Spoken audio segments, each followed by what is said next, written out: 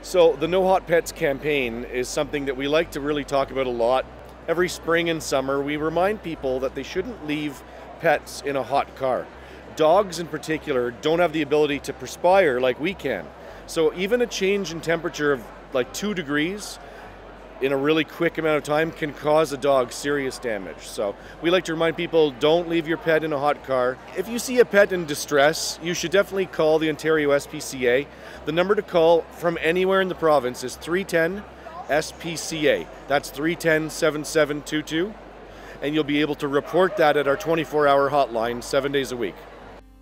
Here are 13 quick heat safety tips for dogs. Always carry water and make it available to your dog.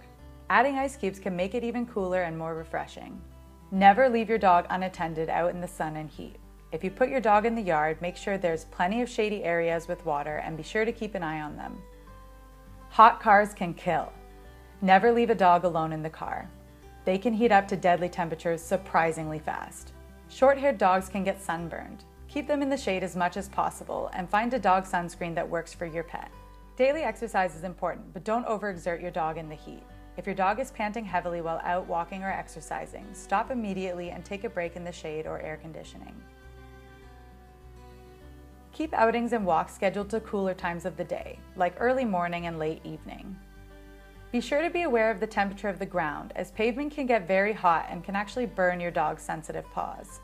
Certain breeds can benefit from a short haircut for warmer months, but do not shave or cut any dog's fur without discussing with your vet or groomer first. Cooling collars, vests, or mats can be helpful.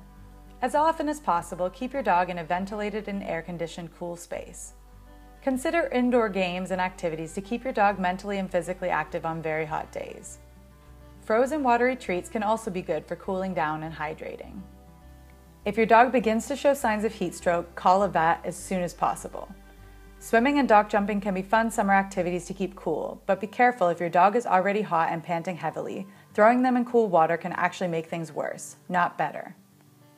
Watch out for these seven signs of heat stress heavy panting, dizziness and fatigue, vomiting or diarrhea, general stress or panic, wheezing or gasping, pale or bright gums, thick viscous saliva, are all signs of potential heat stress or stroke, and you should contact your vet immediately. For more safety, training, and inspiring dog videos, subscribe to our channel or check out our website at www.talenthounds.ca.